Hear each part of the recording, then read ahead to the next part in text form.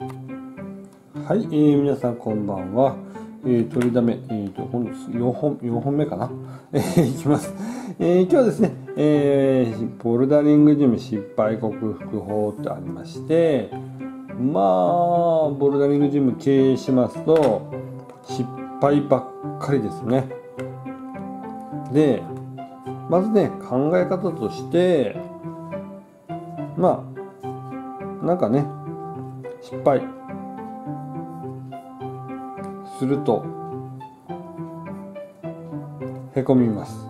まあだけどね、えー、こういうね失敗がないと成長もないんですよね、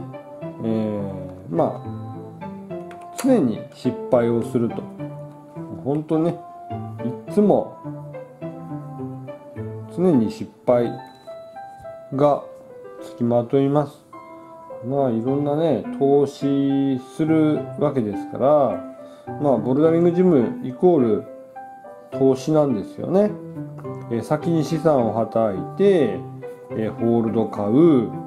えー、まあいろいろね、あの、マット買う壁作ると。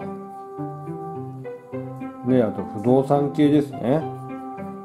いろいろ投資するわけじゃないですか。で、これね、全て、まあ、当たると自分で思ってやるわけなんですよ。場合によっては1000万超えます。ね、投資がね。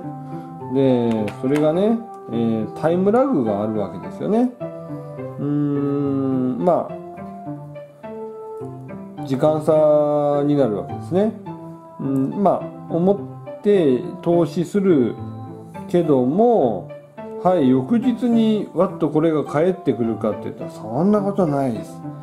1ヶ月後、まあ、それもないと思いますね。えー、実際ね、え、投資しましたって。で、え、それが返ってくるのが3年から最長10年ぐらいで考えていかないといけないんですよ。で、これね、3年とか軽く言いますけど、これがねなかなかね花開かないとほんときついんですよね。えー、まあそれでやって本当にその貧乏して3年なら3年5年なら5年耐え忍ばないといけないっていう場合もあります。えー、すぐね今今やったらすぐ帰ってくるっていう場合もまあ多いとは思うんですけど、まあ、うまくいかないっていうこともあろうかと思います。で、えー、人がね、えー、人まあ最初例えば100人来てくれて、ねえー、これがまあある程度こう常連層になってくれたとしても、えー、例えば3ヶ月後経つとやっぱりこの人ら90人ぐらいに減っていくわけですね。少し減るわけです。必ず減ります。少しずつ減ります。でそこでね、えー、新規の常連さんっていうのを、えー、例えば100あとプラス20人足して110人で営業すると。っていうふうに、えー、ずっとこうね新規の人ですね。新規のお客さんっていうのを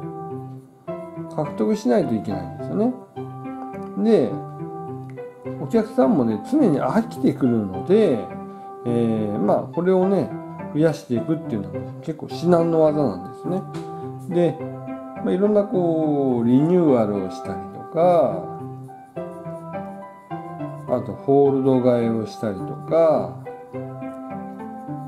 いろいろねやり方があると思うんですけど、まあ、いろんなこうやり方でその新しい新規の方を獲得していくということがとてもね難しいです。でまあそういうのも、えー、一回やってはいすぐ成功するっていうわけではないので試行錯誤の連続なこのたかだか20人とかっていうこの新規さんですね獲得するって本当大変です。まあまあある程度ねわーっとこうお客さん来てくださるんですけどもえー、常連っていうところまで食い込んでこれるっていう人は、えー、少ないです、えー、ですから常に新規さんを探して、えそれを入れていくっていうことをしないといけないで要はね、えある程度失敗慣れするっていうことも大切どんどんどんどん新しいことをやるねえーねえー、新しいことをやると。ね。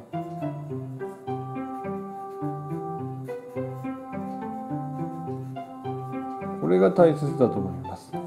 えー、まあ失敗したくないから、えー、この新しいことを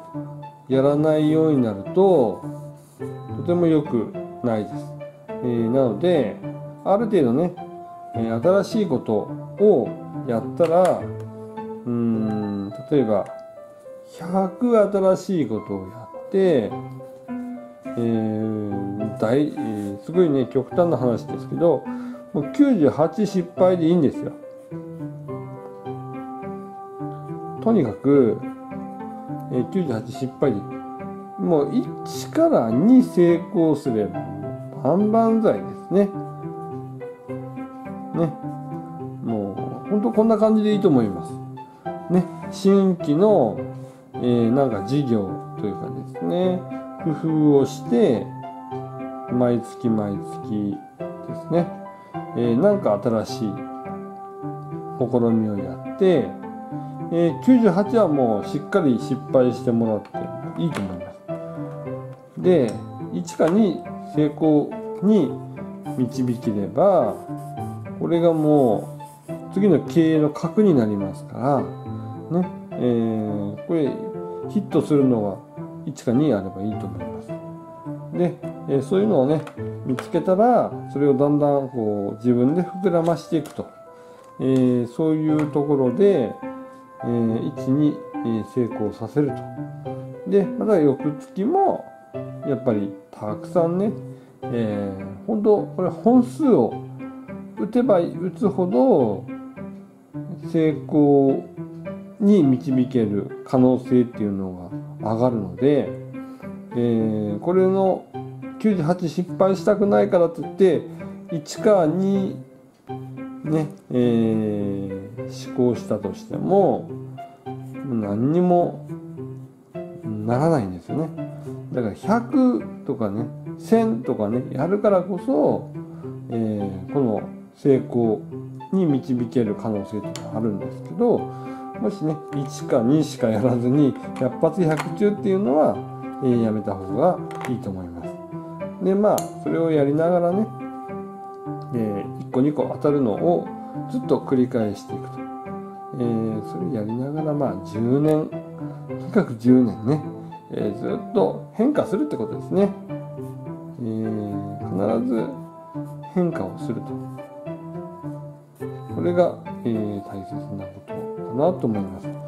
でとにかくねあの売り上げが上がっていた時っていうのは、え、常にこの変化っていうのをしてました。例えば壁のリニューアルとかね、えー、そういうのもバンバンやりましたしすごい時はね、え、リニューアルしながら営業もしてるみたいなこともやってました。もう休まずにね、えー、変化すると。で壁も変わるホールドも変わるでもそういうのはやっぱりお客さんよく知ってますしよくね、えー、理解もしてくださいます、えー、それでねそのリニューアルしたらやっぱりこう後からじわっとねお客さんも増えてきますでこのリニューアルみたいなことをあんまりしなくなるとやっぱりお客さんもねじわーっと減ってくるようなそういう感覚はありますね、はい、だからまあなんかね行き詰まったら変化をすると